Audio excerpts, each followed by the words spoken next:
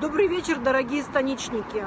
Добрый вечер. Поздравляю всех с праздником. Сегодня 12 декабря, День Конституции Российской Федерации. Очень важный документ всех граждан России. Всех поздравляю с этим замечательным праздником. Так вот, хочу вам рассказать одну коротенькую историю. С моей стороны не очень лицеприятная. Я нахожусь на федеральной трассе которая проходит через населенный пункт поселок Ахтырский, Абинский район Краснодарского края.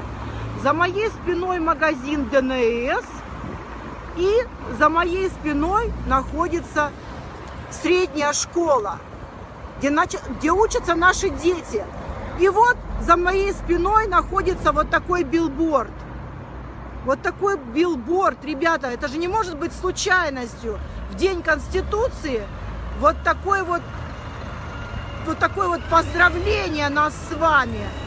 Как могут понимать это наши дети? Почему власти этого не видят? Как же так? Никакой цензуры. Ведь намек этого билборда, он однозначен.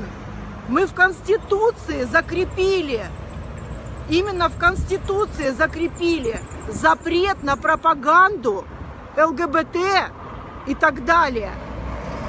И теперь что мы видим рядом со школой, где учатся детки?